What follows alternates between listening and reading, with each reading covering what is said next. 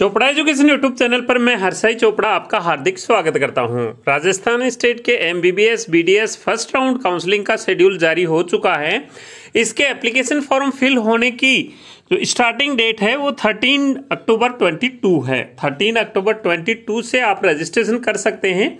इसके part one और part two form fill किए जाते हैं।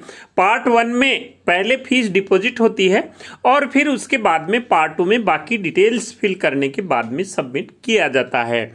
पार्ट वन में जो फ़ीस डिपॉजिट की जाती है वो एस सी एस टी को छोड़ करके बाकी सभी कैटेगरी के लिए टू थाउज़ेंड रुपीज़ है। एस सी एस टी के लिए one thousand two hundred rupees है। अगर किसी कैंडिडेट्स की फैमिली इनकम ढाई लाख रुपए से कम है, चाहे वो किसी भी कैटेगरी का हो तो उसकी भी जो रजिस्ट्रेशन फ़ीस है वो one thousand two hundred rupees होगी। जो लास्ट डेट रहेगी फ़ीस डिपॉजिट की, वो 18 अक्टूबर 22 शाम चार बजे तक रहेगी और last date application form fill करने की रहेगी वो एटीन अक्टूबर 22 रात ग्यारह बज के पैंतालीस मिनट तक रहेगी। इसमें provisional seat matrix sixteen October 22 को जारी हो जाएगा। इसके बाद में डॉक्यूमेंट्स वेरिफिकेशन होना है। वो एनआरआई कैंडिडेट के लिए डिफेंस कैंडिडेट के लिए जो होता है, वो twenty first October twenty two को इसकी लिस्ट जारी हो जाएगी। इसके बाद में जो प्रोविजनल मेरिट लिस्ट जारी होगी, वो 22 अक्टूबर 22 को होगी।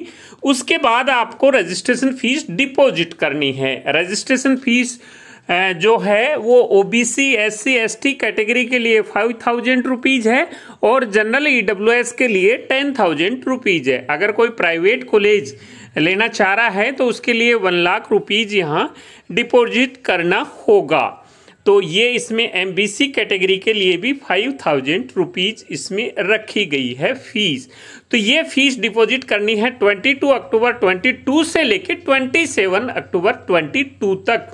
ये रजिस्ट्रेशन फ़ीस डिपॉजिट करनी है। जो पहले मैंने आपको बताया टू थाउज़ेंड रुपीज़ वो एप्लीकेशन फ़ीस है और ये रजिस्ट्रेशन फ़ीस है। रजिस्ट्रेशन फ़ीस सिक्योरिटी फ़ीस होती है। ये आपको बाद में वापस मिल जाएगी एडमिशन होने के बाद में।